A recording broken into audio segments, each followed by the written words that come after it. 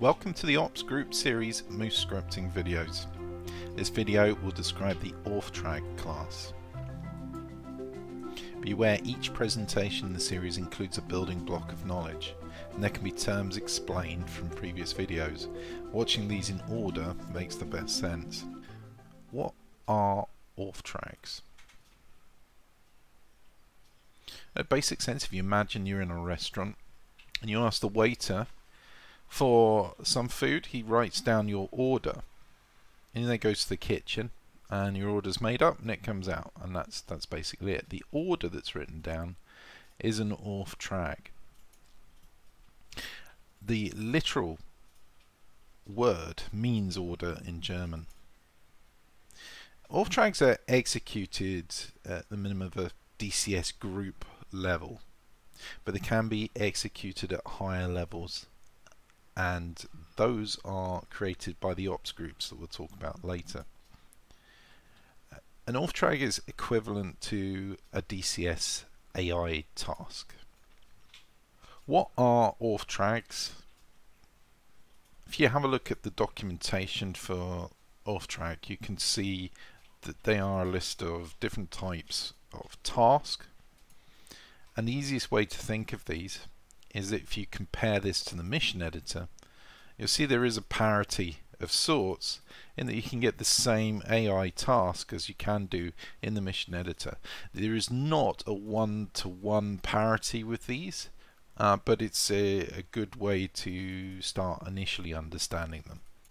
The basic features of Auftrag is that it's a, a DCS en route or perform task task with enough presets that the default only really requires one line of Lua. For the route, the mission task, a, a single destination is created, so there's not a vast amount of scope for creating complex waypoints. Auftrags contain more than just the data about the task.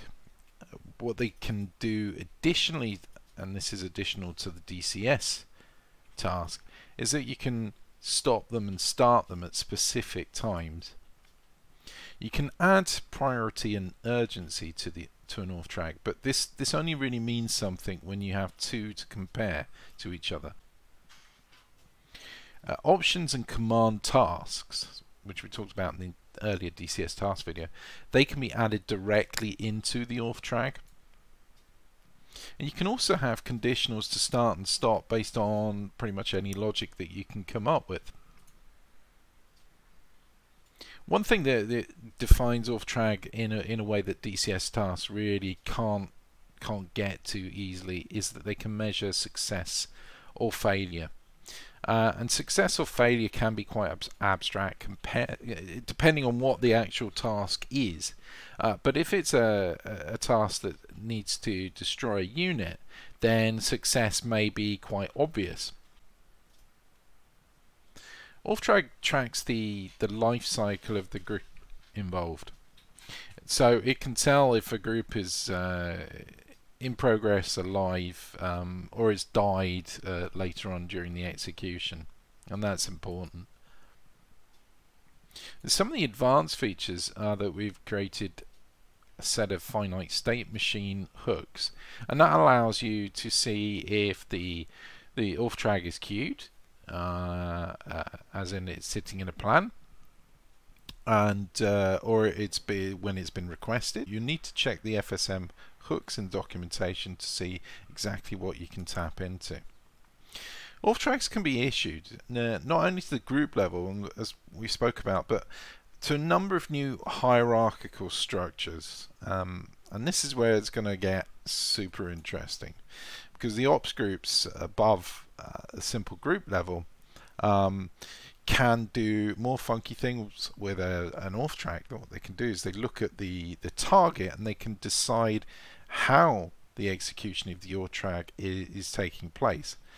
And that means it doesn't necessarily mean that a plane might execute an, an order or an Auftrag later on. Uh, it could be executed by a ship or an artillery piece. And this is where the AI begins to shine because it can make those intelligent decisions on the best use of assets. Finally, the top level of those ops groups is a chief class, and the chief class, amongst other things, can create its own Auftrags. So how does the code look using uh, an Auftrag? Uh, basically, once they've been defined with the new Auftrag uh, code, then they are delivered to an ops group via the add mission Auftrag function. We'll show you uh, two different ways uh, to execute an Auftrag. One's going to be at the flight group level, and the other is going to be the commander level. The first one's the flight group. We've seen this this code snippet before.